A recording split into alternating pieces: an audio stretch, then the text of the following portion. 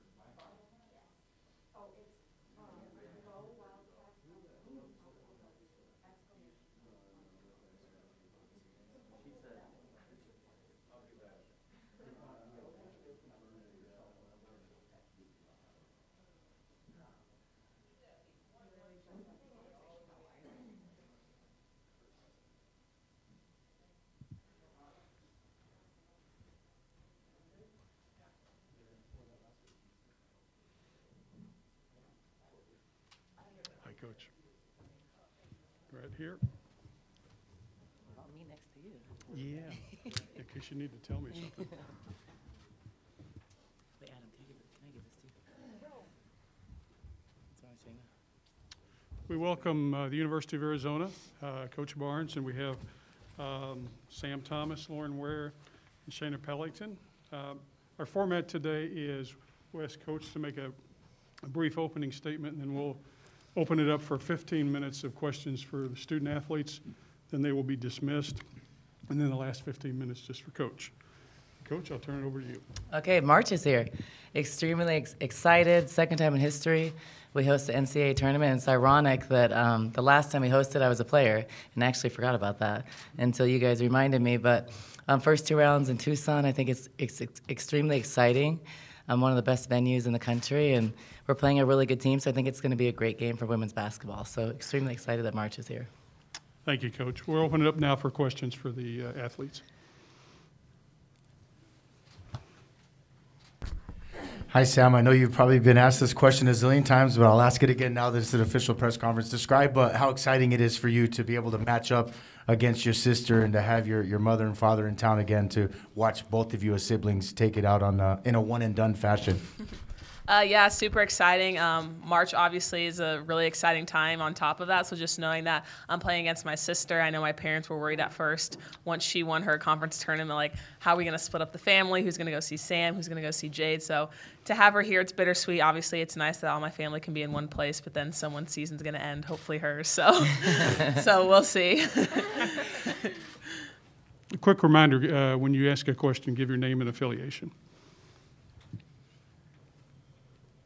Javier Morales, All Sports Tucson. Lauren, um, with Cate coming back, what's that been like in practice and preparation for the, this tournament?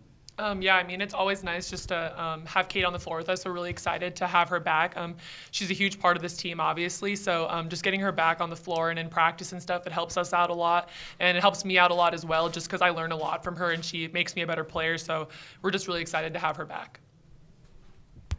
Also for Lauren, Ryan Finley with the Arizona Daily Star. Uh, you're coming off the two best games of your college career. Uh, was it just a matter of more minutes, or was it something else you've been doing? Um, I think it's just um, a confidence thing and just like time of year. I think um, I put a lot of work in, and my teammates have helped me out a lot as well, and my coaches and stuff like that. So just putting me in a position to be successful, I think, is what kind of got me to that Are you point. trying to get her in trouble? You know she can't say more minutes to the coach. Yeah. She's like, yeah, more minutes. That's the reason why. She can't say that. Come on. I'm like, you're running today. No, just kidding.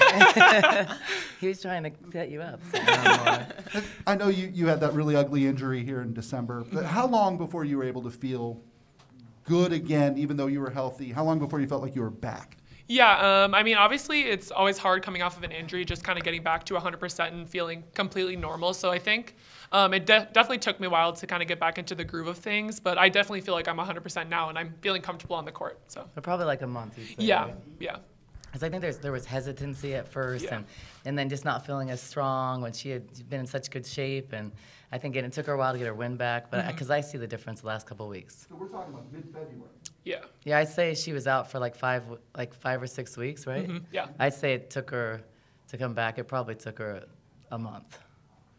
Yeah, because she was back, but then like you could see how she landed and just not just a little um, hesitant. And I think just playing more loose and free. And I think it really showed in the Pac-12 tournament because a lot of it's the mental part and mm-hmm. confidence. Because even if it's structurally okay, I think it's just that happened. You don't want it to happen again. She was just out six weeks, so and, and we had we had to adjust without her. So I'd say it took her like a month. Mm-hmm. Damian Alameda, KOLD News 13. Shaina, how would you compare and contrast sitting here today inside McKale preparing for the first round versus where you guys were a year ago preparing for the first round?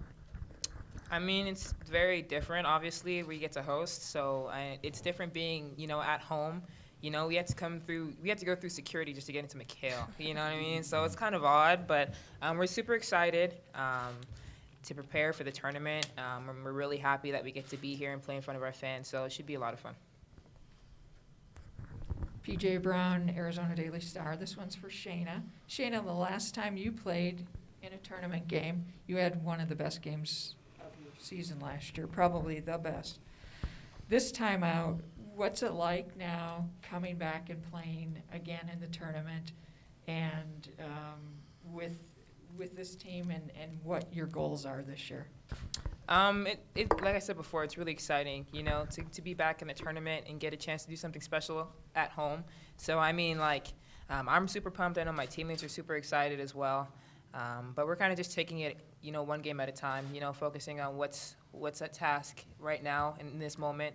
Um, and not really looking to, to, to the future, really. So, I mean, yeah, it's, it's going to be a lot of fun. Um, I'm super excited. We're all super excited. So, yeah. I remember Shaina's approach is a little different because last year she had a different role. So I think that just it's a different approach. I think, um, and just a different situation. But the good thing about these three is there's experience. So I think um, not going to the tournament because of COVID, and then going last year, and then experiencing that when we were an underdog, when no one in a million years, probably not even us at the time, thought we'd be there, and then got hot. So I think that the approach this year is one game at a time, just like last year. But anything's possible, and they decide if they want to do that because we're very capable. Uh, Nate with All Sports Tucson. Um, with the with the amount of uh, experience coming from this team, as well as hosting a game at McKale, um, can you describe the confidence factor going in? For Shaina, sorry. Okay. Uh, yeah, we're all we're all super um, confident and just like I said before, I keep saying the word excited, but to be here and to have the opportunity to do something special again, like we did last year. So I mean, yeah, it's it's going to be a lot of fun for us. Um, getting to you know play at home and play against these really good teams and get to prove ourselves yet again that we're deserving of being here and that we're one of the best teams in the country. So. Ryan Fish with KGUN 9. This is for any of the players. Sam, I know you know this UNLV team better than most, but for any of you, what jumps out to you about this team as you prepare for them tomorrow that you know could be an issue, could be uh, you know something you have to look out for to be ready? Um, I'll go first, I guess, because I probably know them um, a lot better. I probably watched every single one of their games this year that we weren't playing. So, um, just knowing that they're um, they're pretty young, they're a new team. Obviously, I think that we were talking they have like eight or seven or eight new players um, on the team. They coached by Lindy La Rocque, great coach, done amazing things with the program in a short amount of time. So, just knowing that they're coming in, they're coming in hungry. They know they have nothing to lose. They have a lot of connections to Tucson, so there's probably going to be a lot of people here cheering for them as well. So just coming in, knowing that we have to stick to our game plan, the scouting report, follow what we do, and know that this is just another opponent that we have to cross in order to get to the championship game. We're not focusing on the outside factors. We're just focusing on the game itself. Front row. Kim Doss, Arizona Desert Swarm. Lauren, I asked you this after Pac 12 about staying aggressive after Cate came back. Now that she's back, how has that been for you as far as your staying aggressive? Yeah, um, I think I'm just kind of approaching it the same way as I usually would. I mean, obviously with Cate coming back, it's going to help us a lot offensively and defensively, but um, I don't really think that changes what I am going to do um, from here on out. So I think I just need to, like you said, stay aggressive and stuff like that. And I mean, Cate's going to help me with that as well because she opens the floor a lot for us. Because I mean, she's a big target on the inside. People are going to defend her really tough. So I think that'll help me a lot as well and help me stay aggressive too. Hi, Andy Morales with All Sports Tucson. So I cover a lot of local high school girls, and they're they're all wearing U of A women shirts, and they're wearing Sam shirts. I think they're wearing Sam shirts more than Yeah. yeah. shirts, but I'm not mad So- about that. I mean, Sam is. Maybe Sam and Coach, can you talk about the atmosphere and what you created here in Southern Arizona with with the, the younger uh, boys and girls, I guess, in the city? Yeah, I feel like we kind of brought a little bit excitement to the younger girls um, after our run last year, and then having Aari being a WNBA draft pick, I think that just brings excitement to the city itself. And then knowing just like Tucson basketball is rising, uh, South Point women's basketball just won their state championship game, so you know everyone's coming into Tucson, and we're raising the we're raising the stakes for basketball. Everyone's doing a great job. So, and then just knowing that we're supporting each other, um, we're looking out for their games, they're watching us, obviously wearing all of our gear and merch and all that stuff. So it's just a great atmosphere that we're creating here. When I think as a coach, um, when you have a job, or you know, I went here, so obviously my alma mater, and so there's a little bit more of your heart in Tucson. But I think that you want to create a place or in a space where little kids and little girls aspire to go to U of A. Like I don't think that it was like that before, because and a lot of that comes from success. More people come, they follow you, and you're successful. But when you win, it's just it's contagious. People want more, and um, I think having little girls want to come to Arizona and play one day, that's what you want to create. And I think that our team has created that with on the court, with success, but also off the court with, I mean, the fact that she even knows about South Point, um, the fact that she goes to she goes to games, so she goes to little girls' games and stuff. And I think that um, connection with the community creates a completely different vibe. And I think that um, it shows what kind of mentors they are. So I think it's bigger than basketball. It's who these kids are and what they've created, and they've done that. And it wasn't like that when I first got when I first got here. I remember when I first took the job. Um, the first two or three months, I did not hear one good thing about Arizona basketball, and I was kind of like offended because I went here. I was like, "What?" You know, like. But um, now it's great things. Now little girls, little boys, you know, wearing. When I look in the stands, I see Sam Thomas shirts all over. It, that's really cool and I'm glad they got the NIL deal. And she ca she's here in the perfect timing before she leaves because she can make a lot of money. But in, in Tucson, our community, Sam's on EGs, all these things. I mean, her stuff sells out at the pop-up shop in front of McKale in, in an hour. So people love her because of basketball and all the stuff she does off the court. So that's just role model um, at, at its best, and that's what they represent in our program. We've got room, time for just a couple more questions for the student athletes. Uh, Sam and Lauren, UNLV's strength is looks like they're rebounding. They have four players with at least 100 rebounds, and Young has almost 300 rebounds. I mean, talk about that challenge um, going against their front court there in the rebounding. Um, yeah, I mean, obviously we know they have um, some pretty good post players, some good inside players, and rebounding is one of their strengths. But I mean, um, boxing out is something we've been focusing on for the past couple of games, and I think we've improved a lot in that area. So I think um, we're ready to show that um, we're a good rebounding team, offensively and defensively. And um, yeah, so I think we're going to be pretty good in that area. And we have and we have more size, Mhm. so we should be good. But they are relentless on the boards, especially even offensively. They're guards, but I think that um, also you know mid-major the posts are typically smaller, and I think Pac-12 you know we're typically a lot bigger. So you know no, you know some of their players are 5'10", we're 6'3" to 6'5", so it's just a little bit different. But I mean. we by no means approach this game like it's a mismatch. We know they're a very good team and they're capable of winning. So, uh, in my opinion, they're better than the 13 seed. So um, we know we respect them and know we have our, our um, every, it's, it's going to be hard on the inside, outside, and rebounding is an area we, ha- we have gotten a lot better in. This will be our last question for the student athletes. Sam, Jade told us last night you're afraid of the dark. Care to comment? My gosh. Why would you say that? Um, well, I shared a room with Jade my whole life, and she's always the one that wanted the night lights. So that's all I have to say about that. I'll leave it at that. That's funny. It's a good one to end on. Uh, we're done. Student athletes can be excused. Thank, Thank you. you, guys. That's funny. And now we'll have uh, 15 minutes with Coach. So when you see Sam hack Jade, it's your fault. Yeah, that's She's why. like, don't say that. She's in a hacker.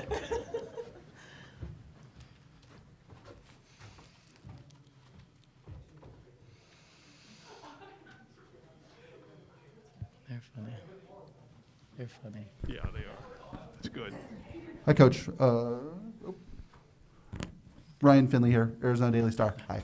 Um, not to ask about minutes again, but but what's reasonable for Cate uh, as she plays her first game in a month? Um, I mean, obviously not 40 minutes, because just because of wind, not because of anything structurally. She's very healthy, feeling great, looking great.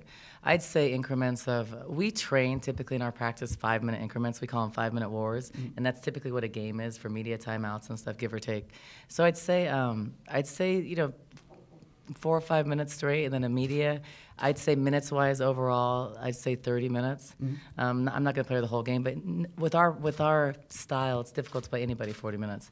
So um, I'd say 30 minutes, and that was the thing about holding her out for a little bit longer and not pushing her to get help her get her win back. But it's going to be a first game with emotions, with adrenaline. So that's just you know fatiguing. But um, I think she's fine to play 30 minutes or more, but probably not 15 minutes straight.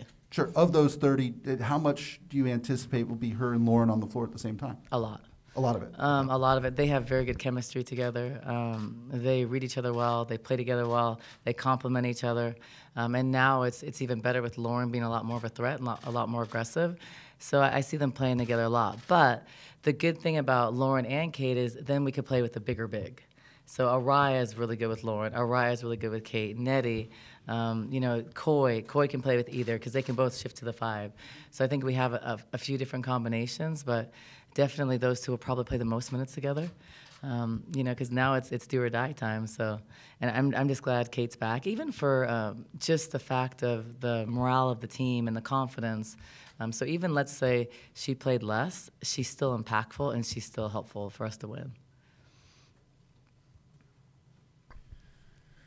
Ryan Fish from KGUN. Uh, you've had a bit of a layoff here, and you even tweeted that usually you think that layoff between the Pac-12 tourney and the NCAA tournament is too long, Way but too this long. year you needed it. Other than having that recovery time for Cate, how do you think that time helped you? Um, so typically, I do say this this two week break is way too long. Um, I still think that, but this year, selfishly, I was like, oh, it's perfect, you know. So that's obviously for my own personal reasons. Um, giving Cate more time was beneficial to us. Um, practicing because of where we're at and how new so many people are was very beneficial for our team. We got a lot better in the two weeks and we needed it. Now, on last year's team, um, we still needed it actually because I think for most basketball teams around the country, this end of February, March is, or this like beginning of March period, like Pac 12 period, it's really long.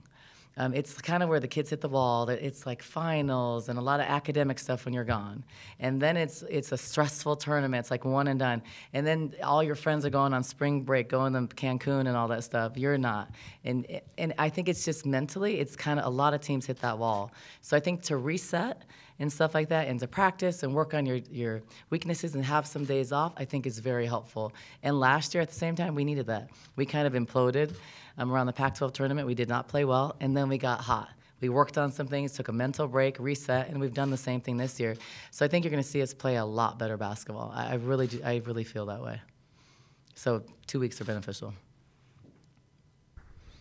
So on that note, um, offense, it was not good against Colorado. Yeah, not good at all. How are you feeling about it now? Um, I think that a couple of reasons why it wasn't good. Um, typically, like last year, we we didn't shoot the ball as well, percentage wise, or just personnel wise.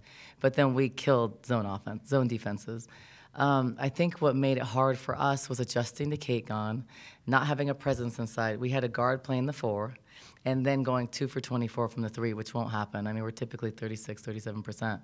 So I don't think that'll happen again. I think um, a lot of those shots will fall. We had open good looks, and they just could not fall. Um, but you know, I think learning that then you don't have to live and die by a three. Learning to move the ball and get a layup. I think we've learned a lot and worked a lot against that for now because I know that we're going to be zoned. Um, but having Cate in the middle, wanting the ball at the, at the free throw line, having another rebounder inside, I think it's very different. Um, so I don't. If if Cate played in the Pac-12 tournament, I think we would have had a lot of, of a better chance to be more successful. Um, just because of the chemistry and her and Lauren playing together and just knowing each other, not playing people out of position. So, um, and I do think I anticipate being zoned tomorrow. Uh, not a ton, but I anticipate the zone press and zone. Um, but I'm I'm okay with that because our personnel and, and I wouldn't mind that at all. And we will not shoot two for 24 ever again. So I, I don't think so. That's my next question is, what do you think hosting is worth in terms of points per game? Uh, Playing on a familiar court, playing in front of your home fans. I don't. I, Is there a value to it? There is a value. I don't know points wise what to put the value on it, but um, if you look at our record, we're 12 and one at home. Um, I think. I think it's 12 and one, and um, we hadn't lost until the UCLA game for since I think around December of last year. So we're very good at home, and I think everybody's very good at home. I think if you look at UNLV, they're very successful at home. You're confident. You're in your same routine. You're playing in front of your crowd. Um, for us, we draw like we're top eight in the country for attendance. So um, we know that we're going to have 8,000 people. That is a tremendous amount of energy. When you're pressing and getting a steal and you have 8,000 people going crazy, I think that's worth points because you're more motivated. Um, so I think that it's extremely valuable. I anticipate I want to sell out tomorrow. Um, I think realistically we'll probably get 12 or 13,000 because of our men playing and because of spring break. Um, but I'm okay. But most most teams aren't prepared to play in front of 12, 13, 14,000 people.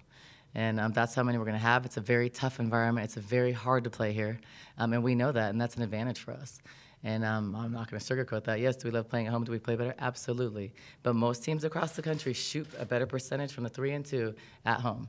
So, and we do too. So I'm happy we're home. Um, I'm extremely excited.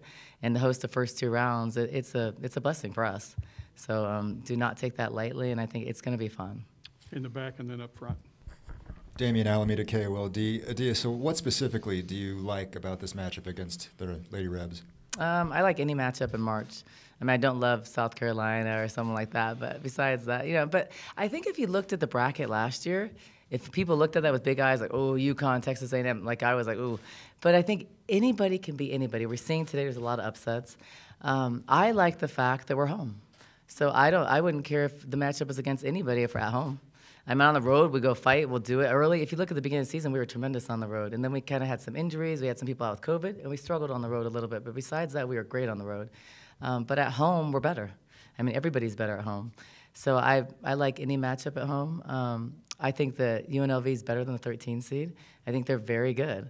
Um, I think they have a lot of new players, but they're not experienced in the NCAA setting and some of our players are. Our whole team isn't either, but our our core players they played in the championship game, so I think that's going to um, be very valuable in in March Madness in the NCAA tournament. So, um, you know, playing at home against UNLV, I know that I think that our I don't think they face anybody with our kinds of pressure. Um, I think that that we have a little bit more size inside. And, so I think it's going to be a good matchup. By by no means do I think that we're way better and should win by no means. I think they're a very good team and they're very capable of beating anybody. Um, so I think that we have to approach the game and we have to play well. And from now on, you have to play well. But now this is do or die time. So we're going to see who steps up. And we saw that last year. Aari stepped up big. Shaina stepped up big. So I am anticipating that. And our players are going to step up. I think Lauren's going to play the same she's been playing. I know Sam's going to be really excited to beat her sister. Um, I know that our players are fired up and ready and know that we didn't end the season playing our best basketball. So I think that um, we are very motivated and um, I think very focused on the task at hand, which is UNLV.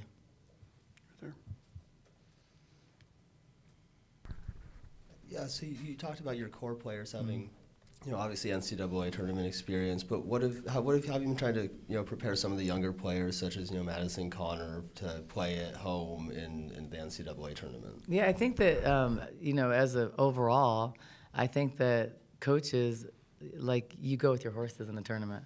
I think now is not time for me to experiment with lineups. Now it's time to win. So if that means you're young and you're ready, then you play or you don't. And I think that's the reality. People don't say that, but that's the reality. Um, Maddie has experience because she came from high school. Remember, she came during the year and she experienced that, so she knows what that feels like. I think the only players that don't would be like Annegret, Gisela, Nettie. But I mean, they're playing behind some experienced players.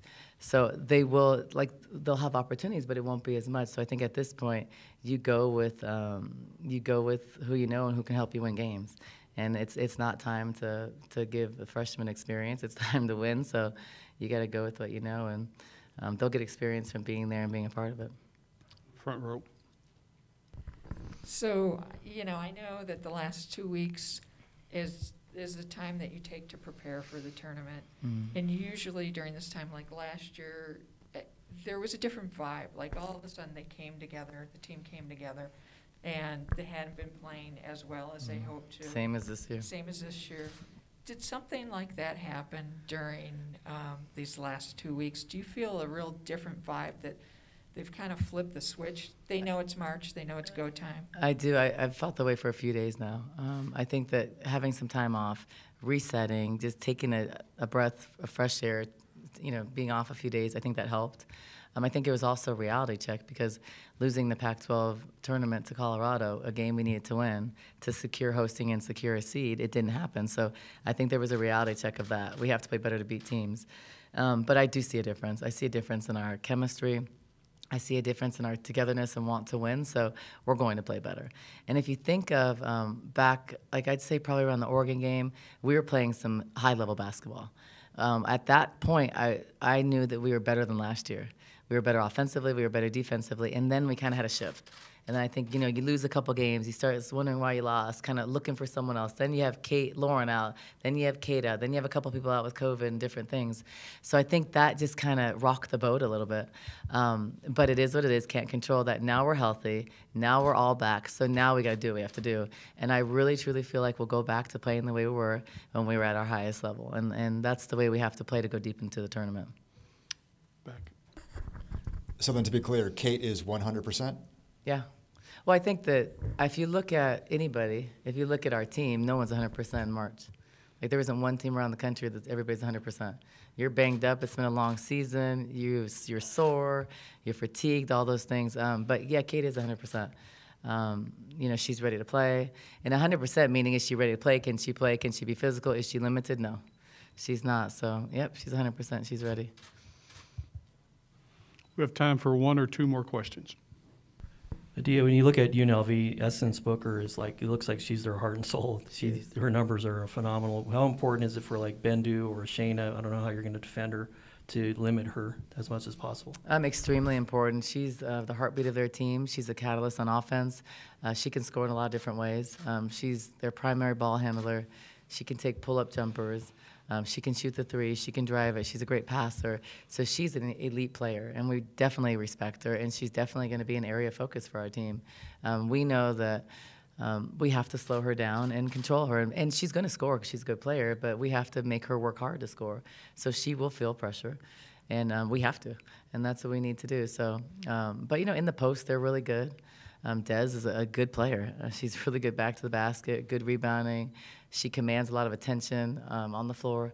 So, um, but besides those two, they have a complete team. They, they play about seven, and they have seven talented players. A lot of their players could play in the Pac-12 and be impact players. So um, we know we have our work cut out for us. But as they have, we have tough matchups against them. They have tough matchups against us.